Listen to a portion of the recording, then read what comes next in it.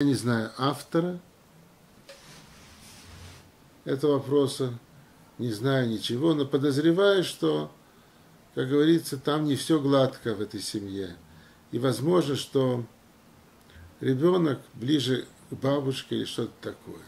Или очень похож на бабушку. Или соседи говорят, что он похож на бабушку, или она, не знаю. Так или иначе, ничего этого не может быть по простой причине. Может быть, ребенок невероятно похож на бабушку, особенно если это девочка, невероятно похожа. Именно не на маму, а на бабушку. Как и почему? Несложно понять. Как вообще происходит э,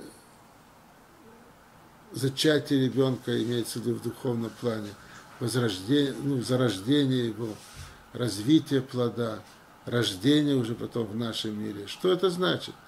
Еще до зачатия уже Всевышний берет щепотку, условно говоря, от души матери, щепотку от души отца, складывает их вместе и добавляет еще от себя. Потому что это должно быть совершенно новое явление, новая душа, новый человек. Поэтому это не может быть только отец и мать. Еще Творец добавляет то, что ему кажется, кажется. Он представляет себе, что надо добавить. Три элемента. Три элемента участвуют в зачатии э, человека. Отец, мать и э, Всевышний, который добавляет. Теперь я сказал щепотку. Щепотка это неопределимая, специально сказал так, неопределимая, это не ложка, которая известна ее размер. Это неизвестно сколько, вот столько. Может быть больше, может быть меньше. Представим, что вот столько от души мамы много, а столько от души отца немного. Ну, на кого похож будет ребенок больше? Скорее всего, на маму. Ну, скорее всего, на маму. Мы еще не знаем, что там Всевышний добавит. Но так или иначе, скорее всего, в эту сторону идет дело. А может быть и в другую сторону. Тоже мы с этой моделью у нас все просто и все понятно. Так что вот не может ребенок ничего выбирать, его нет вообще на свете. Еще до зачатия уже будет заложены духовные основы его методами щепотка, щепотка плюс от Всевышнего – сам ребенок ничего не может. Когда он родится, он будет уже сам, постепенно будет приходить к свободе выбора, он сразу будет иметь, но пользоваться не сможет еще, слабенький, то другое будет происходить. И таким образом ребенок появляется на свет. Что еще здесь можно сказать? Что мы в жизни все время это наблюдаем. А что я имею в виду?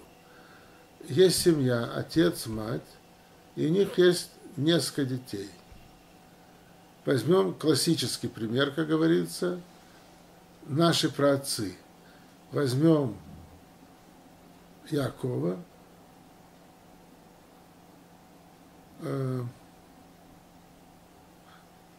извиняюсь, возьмем Ицхака, отца Якова, не Якова, Ицхака. У Ицхака была жена Ривка. И так был Ицхак, наш праотец, была жена Ривка, два человека. И у них родились близнецы. Одного звали Исав, у другого, а другого звали Яков.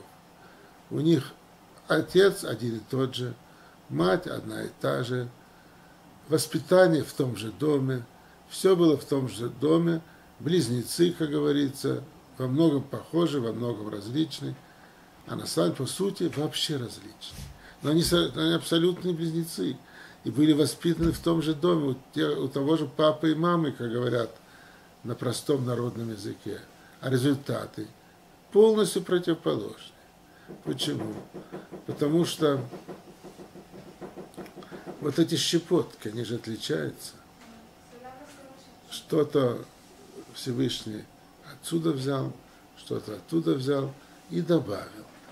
Якову он добавил, сколько нужно было для Якова, а Исаву сколько нужно было для Исава. И они поэтому совершенно различны. И вся история наша и человечества потекла совершенно двумя ручьями, как говорится. Вот вам пример. Это классический пример. Те же родители, а дети разные. В жизни мы все время это наблюдаем. Потому что вот этот механизм работает. И совсем не то, что ребенок выбрал себе. Исав выбрал себе, или Яков выбрал себе. Не то и не то. Так Всевышний сделал. Потом, во время э, беременности, это правда, что ребенок уже живой.